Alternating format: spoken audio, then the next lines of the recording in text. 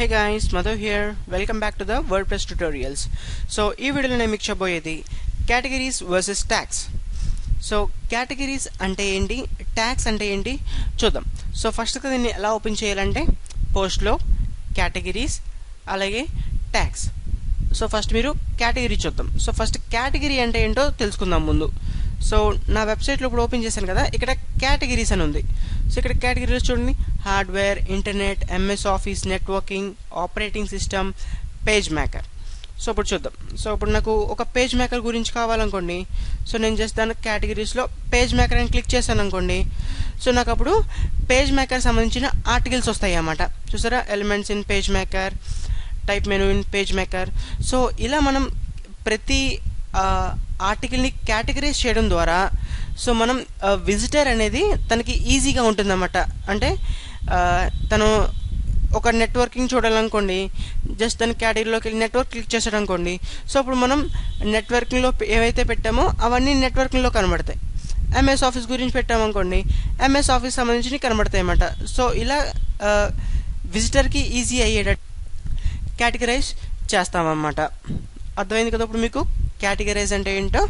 విజిటర్కి ఈజీగా ఒక ఒక టాపిక్ని చూడాలంటే మనం దాన్ని కేటగరైజ్ క్రియేట్ చేసుకుని దాన్ని ఆ కేటగరైజ్లో మనం ఆర్టికల్స్ రాసినప్పుడు దాని కేటగిరీ ఇచ్చామనుకోండి.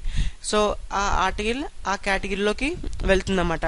సో ఎప్పుడైతే ఒక యూజర్ ఆ ఆర్టికల్ మీద క్లిక్ చేశాడనుకోండి సారీ ఆ కేటగిరీ మీద క్లిక్ చేశాడనుకోండి ఆ కేటగిరీలో ఉన్న ఆర్టికల్స్ మాత్రమే తను చూడగలడు అర్థమైందా? సో ఇలా మనం మన ఆర్టికల్స్ని కేటగరైజ్ చేయొచ్చు అనమాట సో దీన్ని ఒక ఆ కేటగిరీని ఎలా క్రియేట్ చేయాలంటే సో ఫస్ట్ మనం పోస్ట్లో కేటగిరీ అని క్లిక్ చేసి ఇక్కడ మనం నేమ్ టైప్ చేయాలన్నమాట.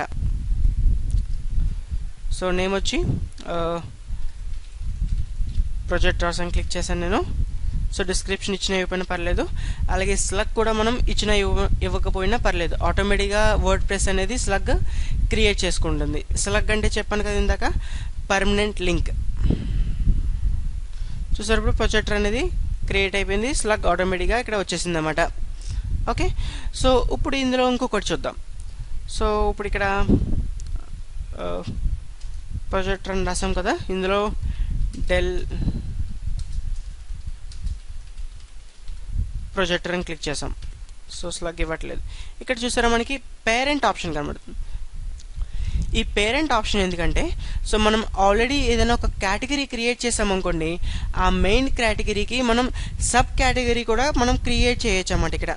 సో పేరెంట్లో ఇప్పుడు నేను ప్రొజెక్టర్స్ క్లిక్ చేశాను. ఎందుకంటే ఇది డెల్ ప్రొజెక్టర్ కదా. సో దీని మెయిన్గా పేరెంట్ వచ్చేది ఏంటి ఇందులో? ప్రొజెక్టర్స్. So add category. చూసారా మనకి ప్రొజెక్టర్లో సబ్ ఐటమ్ వచ్చింది డెల్ కేటగిరీస్ అన్నది.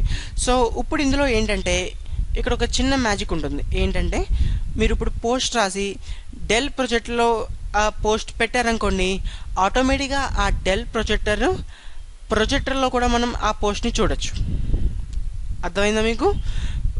డైరెక్ట్ ప్రొజెక్టర్లో పెట్టారనుకోండి మనం ఓన్లీ ప్రొజెక్టర్లోనే చూడగలం. డెల్ ప్రొజెక్టర్లో మనం ఆ పోస్ట్ని చూడలేం.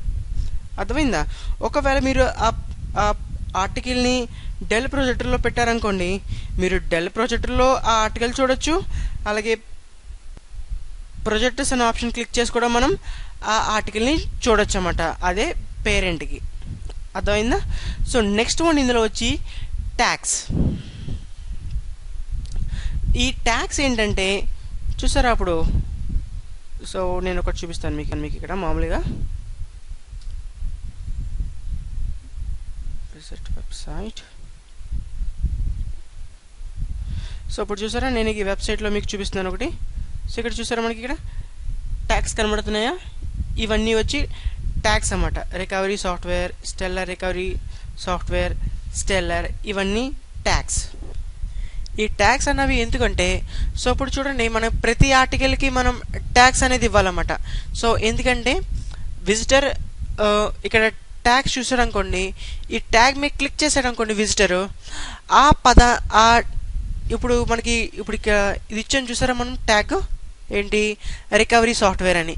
ఈ ట్యాగే మళ్ళీ మీరు ఇంకొక ఆర్టికల్లో ఇచ్చారనుకోండి రికవరీ సాఫ్ట్వేర్ అనే ట్యాగ్.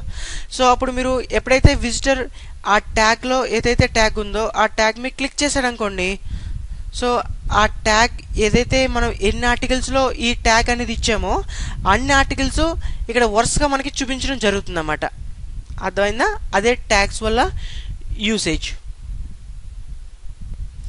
అర్థమైంది కదా మీకు? ఇప్పుడు కేటగిరీస్ అంటే ఏంటి? ట్యాగ్స్ అంటే ఏంటి అనేది? ఏదైనా ఒక ఆర్టికల్ని కేటగిరైజ్ అంటే టాపిక్ టాపిక్ వైజ్గా డివైడ్ చేయాలంటే మనం కేటగిరైజ్ చేస్తాం.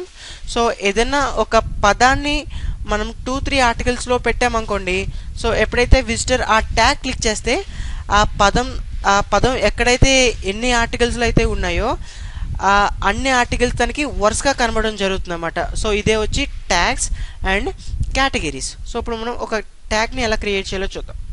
సో జస్ట్ ఇక్కడ నేను మళ్ళీ పోస్ట్లో ట్యాగ్స్ అని క్రియేట్ చేస్తాను. మామూలుగా నేమ్ టైప్ చేసి యాడ్ క్యా న్యూ ట్యాగ్ అని టైప్ చేస్తే మనకి ఇక్కడ ఆ ట్యాగ్ అనేది మనకి ఇక్కడ క్రియేట్ అవ్వడం జరుగుతుందన్నమాట. ఓకే సో ఒకవేళ మీకు ట్యాగ్స్ అని ఆల్రెడీ ఎక్కువైపోయాయి అనుకోండి సో ట్యాగ్స్ ఒక ఆర్టికల్లో మనం ఫోర్ ఫైవ్ ట్యాగ్స్ రాసామనుకోండి సో ఇక్కడ మనకి పేజ్ అనేది నిండిపోతుంది అనమాట చూడలేం. సో అప్పుడు మనకి సెర్చ్ ఆప్షన్ యూజ్ చేసుకుని ఆ ట్యాగ్ అన్నది మనం ఈజీగా ఫైండ్ చేయొచ్చు. సెర్చ్ ట్యాగ్ అని కొడితే ఆ ట్యాగ్ అనేది మనకి ఫస్ట్ రావడం జరుగుతుంది. చూసారా? సో ఇందులో ఇంకొక ఆప్షన్ ఏంటంటే బల్క్ యాక్షన్స్ సో మీరు చూడండి ఇప్పుడు మనకి రెండు ఆర్టికల్ రెండు ట్యాగ్స్ కనబడుతున్నాయి. ఈ రెండు ట్యాగ్స్ కాకుండా ఇంకా ఒక టెన్ ట్వంటీ ఆర్ట్ ట్యాగ్స్ ఉన్నాయనుకోండి అన్నీ ఒకసారి డిలీట్ చేయాలంటే ప్రతిదీ టిక్ చేసి డిలీట్ చేయాలి. సో అలా కుదరదు కదా మనకి. సో జస్ట్ అప్పుడు మీరు ఏం చేస్తారు? ఏవైతే ఉన్నాయో అన్నీ సెలెక్ట్ చేసుకుంటారు. సో లేదా నీకు నేమ్ క్లిక్ చేస్తే ఆటోమేటిక్గా అన్నీ సెలెక్ట్ అయిపోతాయి.